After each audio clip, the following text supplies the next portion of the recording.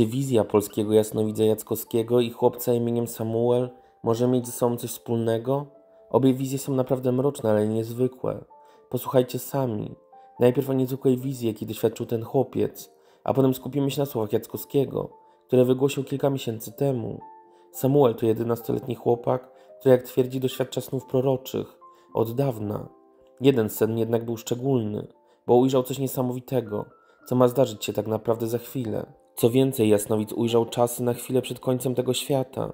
Co więcej, według wielu rodziców, którzy wypowiedzieli się pod filmem o małym jasnowidzu, ich potomkowie także doświadczają bardzo podobnych snów. I wygląda na to, że wszyscy widzą wręcz identyczne rzeczy. Co więcej, ich sny zgadzają się z częściami przewidywań niektórych jasnowidzów, także z Polski. Zresztą posłuchajcie, co mały jasnowidz Samuel ujrzał w swoim śnie i ocencie sami, czy warto wierzyć w jego sny. Chłopak twierdzi, że sen zaczął się od tego, że razem ze swoimi rodzicami usłyszał bardzo głośne pukanie. To brzmiało, jakby setki osób wręcz waliło w ich drzwi, szyby, ściany i sprawiało, że całe mieszkanie niemal się trzęsło. Wtedy drzwi się wyłamały, a do mieszkania wpadło wielu mężczyzn. Zarówno chłopak, jak i rodzice byli przestraszeni, więc zrobili jedyne, co mogli w tym momencie i zaczęli się modlić. I wtedy jakby wszystko, czego tak się obawiali, zatrzymało się.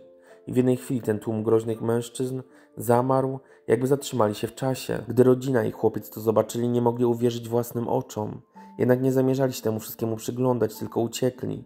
Niestety dość szybko mężczyźni znowu zaczęli się poruszać. I wtedy w jednej chwili zarówno chłopak, jak i jego rodzice unieśli się w powietrze i zostali zabrani do świata duchowego, gdzie było spokojnie i wspaniale.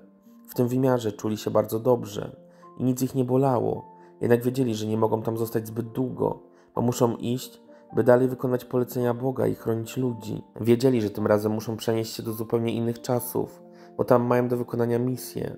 Wiedzieli, że muszą przenieść się do przyszłości, gdzie świat będzie rządzony przez sztuczną inteligencję, a humanoidalne roboty będą równe lub przewyższą liczebnie ludzi. Będą służyć jako nauczyciele, sprzedawcy, kierowcy, a nawet najlepsi przyjaciele. Interakcja między ludźmi zmaleje, a ludzie będą krążyć po miastach jak pozbawione emocji zombie, obojętni nawet na łzy własnych potomków. Jednak to właśnie roboty będą mieć więcej emocji i to one będą zajmować się ludzkimi potomkami. Co więcej, w tej przyszłości chłopak ze swoimi rodzicami widział liczne restauracje, w których nie ma ani kucharzy, ani żadnych kuchennych sprzętów, bo po prostu wystarczy drukarka 3D. Polega to na tym, że wkłada się do drukarki różne witaminy, np. części owadów i otrzymuje się coś z daną potrawą. Bez problemu można zmienić kawałki owadów hamburgera, który naprawdę smakuje, pachnie i wygląda jak hamburger.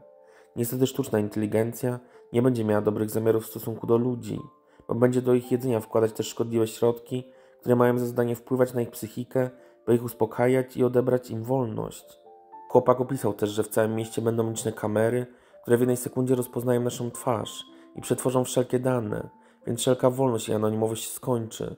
Co więcej, chłopak widział też, jak kilkoro ludzi kupowało coś w sklepie i wtedy zamiast zapłaty za pomocą karty czy gotówki, oni wyciągali swe dłonie, gdzie mieli podskórnie umieszczone specjalne urządzenie, które było zdalnie połączone z ich bankiem i w ten sposób były pobierane pieniądze. To jednak tylko jedna ze scen, jakich chłopak doświadczył w przyszłości, ale było coś o wiele bardziej niezwykłego. Nagle chłopak ujrzał, że w przyszłości chrześcijanie będą silnie prześladowani za swoją wiarę, do tego stopnia, że osoby posiadające Biblię będą ścigane jak z najgorsze czyny. Chłopiec nie był pewny o co tutaj chodzi. Dopiero potem się dowiedział, że w Biblii znajduje się jakiś tajemniczy werset, po wymówieniu którego człowiek aktywuje świętość w samym sobie, co automatycznie sprawia, że zostanie wykluczony z diabelskich planów i zła. Co ciekawe, tajemniczy chłopak mówi, że widział mężczyznę, który utracił Biblię i wtedy w jednej chwili jego mózg został przejęty przez sztuczną inteligencję i stał się niczym zombie, jak większość ludzi na Ziemi. Wygląda więc na to, jakby sztuczna inteligencja kontrolowała umysły ludzi, jednak działanie Biblii i słów w niej zawartych mogłyby temu zapobiec. Co więcej, według słów chłopaka, osoby, które będą miały swoją Biblię i nie utracą, zostaną w przyszłości zabrane do nieba wtedy spotkają zarówno swoich bliskich, ale i Boga, który siedział na tronie. Jednak Samuel nie widział twarzy Boga, gdyż jaśniała wielkim światłem. Co więcej, chłopiec widział też anioły o czterech twarzach. Te anioły będą unosiły się przy księdze, w której będą zapisane imiona tych, którzy trafią do nieba. Nie wszystkie jednak imiona tam będą, a część ludzi trafi do piekła. Tajemniczy chłopiec twierdzi jednak, że choć sam nie widział nieba, dowiedział, że trafi do nieba i miał nawet przebłyski obrazów, w których wchodził do raju. To wtedy ujrzał, że w niebie drogi są wykonane ze złota i jest tam mnóstwo kamieni szlachetnych, które mienią się wielkim światłem. Co więcej, nie tylko Samuel doświadcza podobnych snów, także inne dzieciaki. Na przykład pewna matka opisała pod filmem sytuację ze swoim synem. Mój najmłodszy syn miał 10, prawie 11 lat, kiedy również miał dwa sny prorocze. Spał na podłodze obok mojego łóżka. Szybko usiadł i wykrzyknął: O mój Boże, o mój Boże! Zapytałam, czy miał zły sen. Powiedział: Nie, miałem najlepszy sen na świecie. Widziałem Jezusa przychodzącego w czerwieni na białym koniu, a za nim miliony aniołów wojowników, gotowych do bitwy. Z ust Jezusa wychodził ostry miecz z napisem: On stąpił z nieba. To było podczas wielkiego konfliktu. Jezus nadejdzie wkrótce. Był szczęśliwy, mówiąc: Miałem wąsy, mamo. Ma teraz 16 lat. Inna osoba napisała o swojej córce: Moja córka, gdy miała 7 lat, miała wizję, w której widziała tron i Jezusa siedzącego na nim, ale nie widziała jego twarzy, ponieważ była jasna jak słońce. Wiele osób siedziało przed tronem i chwaliło Boga, a ona powiedziała, że wszyscy mieli na sobie białe szaty. Wygląda więc na to, że wizja jej córki bardzo zgadza się z wizją Samuela, który również widział Boga, którego twarz była niedostrzegalna, bo tak bardzo świeciła. Warto jednak wspomnieć, że Samuel w swoich wizjach ujrzał wskazówki, które być może ujawniają, kiedy nadejdzie świat, w którym ludzie zostaną zabrani do nieba, a świat zostanie przyjęty przez sztuczną inteligencję. Samuel twierdził, że w swoim śnie wyglądał na nastolatka, a obecnie ma lat 11. Wygląda więc na to, że wszystko to może mieć miejsce jakoś za 4-5 lat, czyli rok może być wtedy 2028.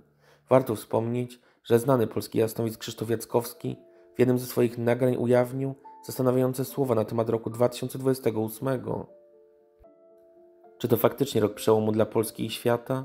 Krzysztof Jackowski powiedział: 2024 jest ważny, ale też 2028 jest ważny.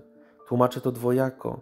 Albo to, co się zacznie w 2024 potrwa do 2028 roku, czyli przez 4 lata będzie trwało, albo w 2024 roku będzie bardzo niespokojnie na świecie, potem będzie cisza i potem znowu rok 2028 będzie bardzo niebezpiecznie na świecie. Będą wojny, ujawnił Jackowski. Jasnowic miał wizję. W 2025 roku stanie się coś niesamowitego. Link do nagrania na ten temat w opisie.